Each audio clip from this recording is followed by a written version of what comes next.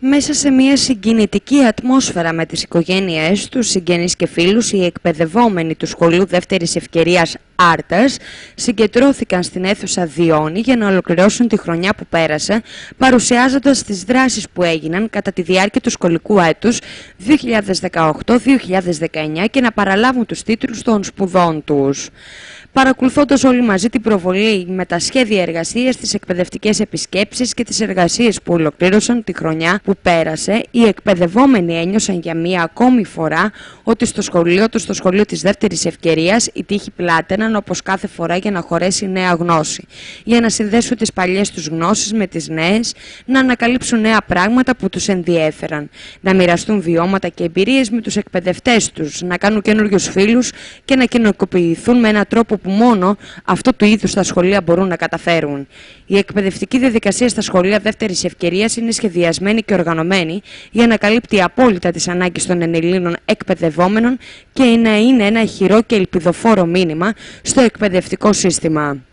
Ήταν η 11η χρονιά λειτουργίας του Σχολείου Δεύτερης Ευκαιρίας Άρτας. Το Σχολείο Δεύτερης Ευκαιρίας Άρτας, για όσους δεν το γνωρίζουν, είναι ένα σχολείο για ενήλικες, είναι ένα εναλλακτικό γυμνάσιο. Όσοι ενήλικες δεν έχουν απολυτήριο γυμνασίου, μπορούν να έρθουν να παρακολουθήσουν το σχολείο. Με την ολοκλήρωση δύο ετών φοιτηση αποκτούν τίτλο σπουδών ισότιμο του πολιτηρίου γυμνασίου.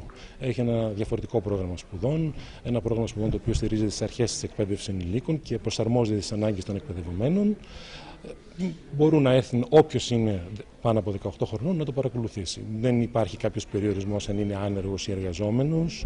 Υπάρχει αρκετά μεγάλη συμμετοχή.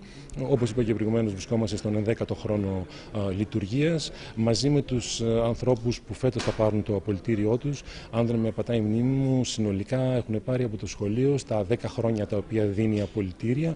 Έχουν πάρει απολυτήρια 250, 250 άτομα, 250 εκπαιδευόμενοι. Ε, από το 13-14 λειτουργεί και το παράρτημα της Φιλιππιάδας, το οποίο κατ' ουσίαν είναι και αυτό τμήμα του δικού μας σχολείου, του, του Σχολείου Δεύτερης Ευκαιρίας Άρτας και οι εκπαιδευόμενοι ε, του παραρτήματος Φιλιππιάδας παρακολουθούν αντίστοιχα το ανάλογο πρόγραμμα, το ίδιο πρόγραμμα δηλαδή παρακολουθούν και οι εκπαιδευόμενοι του Σχολείου Δεύτερης Ευκαιρίας Άρτας. Ο θεσμός των σχολείων δεύτερης ευκαιρίας έρχεται να διδάξει πολλαπλώς πρώτα απ' όλα όλους τους μαθητές του, οι οποίοι αποκτούν τη δυνατότητα να ολοκληρώσουν την υποχρεωτική εκπαίδευσή τους. Κατόπιν τους δασκάλους τους και τρίτον την κοινωνία ολόκληρη, η οποία αντιλαμβάνεται την αναγκαιότητα της διαβίου μάθησης σε ένα διαρκώς μεταβαλλόμενο και απαιτητικό περιβάλλον το, η έδρα του σχολείου, το βασικό σχολείο, στεγάζεται στο κτίριο του 8ου Δημοτικού Σχολείου Άρτας, ε, απέναντι από το Δημαρχείο.